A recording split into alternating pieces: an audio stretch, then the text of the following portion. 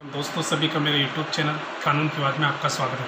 दोस्तों, मैं आज एक इम्पोर्टेंट वीडियो के साथ शुरुआत करूँगा, लेकिन अभी तक आपने हमारा चैनल सब्सक्राइब नहीं किया तो सब्सक्राइब कर ले और बेल आइकन को ज़रूर दबाएँ जिससे आपको नए नए वीडियो की नोटिफिकेशन मिलती रहे।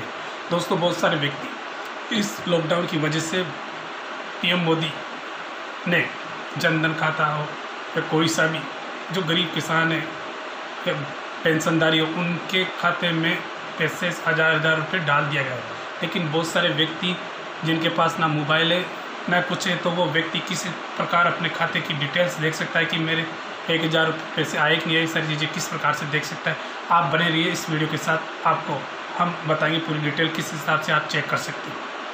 दोस्तों दोस्तों, आज पीएम द्वारा जो जनधन योजना में सभी के एक एक हज़ार रुपये का अनुदान डाला जा रहा है तो आप घर बैठे उस अनुदान या उस बैलेंस को किस प्रकार से चेक कर सकते हो?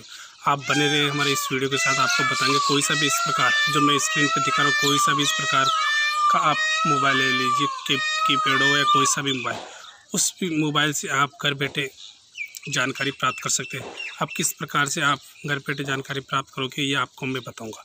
दोस्तों, चलो शुरुआत करते हैं। सबसे पहले आप अपना इस मोबाइल को लेके इस प्रकार खोल लीजिए, उसके बाद जो क्रोम दिखाई दे रहा है। उस क्रोम पे आपको क्लिक करना है। क्रोम पर क्लिक करने के बाद आपको कुछ वेबसाइट डालनी है, जिसका नाम है पी एफ़ एम एस इसको डालने के बाद पी एम एस दो हज़ार बीस डालना है।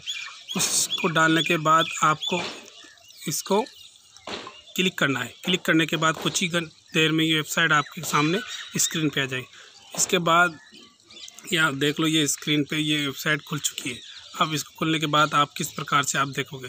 इसमें जो first know your payment, PMS लिखा है, इसको आपको क्लिक करना है, इसको खोलना है।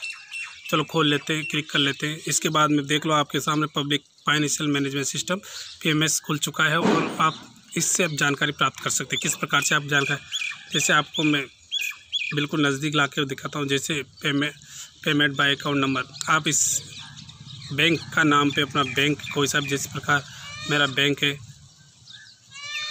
आई डी बी आई तो मैंने आई डी बी आई यहाँ डाल दिया। तो आई डी बी आई जैसे डालूँगा तो नीचे बैंक का नाम पूरा आ जाएगी bank I D B I bank unlimited आ गया।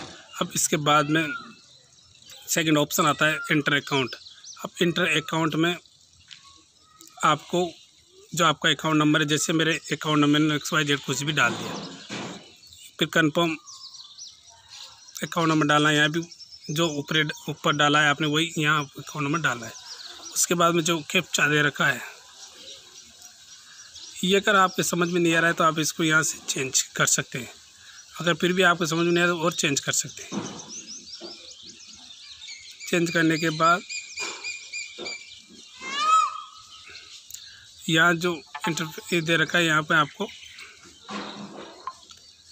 इसको डालना है। जैसे इसमें लिखा है बी बी बी चार बार बी लिखा है बी टू वन ये सारी चीज़ें लिखी है तो इसको आपको डाल देना है।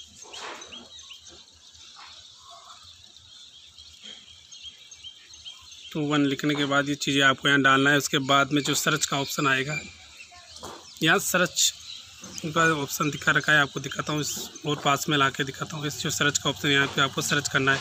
सर्च करने के बाद नीचे पूरी ऐसी जो लिखा हुआ है मिनी फाइनेंस ये पूरी डिटेल आपके इस मोबाइल पे आप घर बैठे चेक कर सकते हैं दोस्तों। अकाउंट नंबर गलत होने के बाद नहीं बता पाया। इसलिए आप अपना कन्फर्म अकाउंट नंबर डाल के आप घर बैठे जनधन योजना, गैस फ्री गैस के आने भी कुछ जो भी भारत सरकार की योजना उसके बारे में आप घर बैठे अपना बैलेंस चेक कर सकते हैं। थैंक यू दोस्तों। और कुछ और जानकारी चाहने के लिए आप हमें कमेंट्स कर सकते हैं।